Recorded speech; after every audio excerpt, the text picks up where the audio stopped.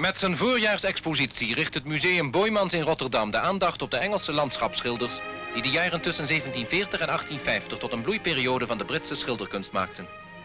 Het gezicht op de berg Snowdon in Wales is een van de bekendste olieverfschilderijen van Richard Wilson, die wel de vader van het Engelse landschapsgenre wordt genoemd.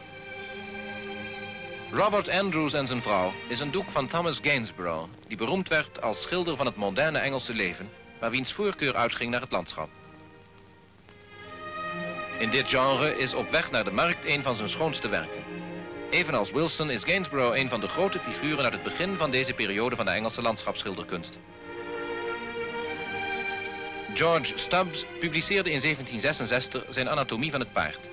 Hij schilderde zijn opdrachtgevers met hun dieren bij voorkeur tegen de achtergrond van een Engels landschap. Het springende paard is een olieverfschets van John Constable, een van de weinige Engelse schilders die wereldvermaardheid verwierf. Ofschoon zeer oorspronkelijk vertoont Constable's oeuvre veel gelijkenis met dat van de Hollandse meesters.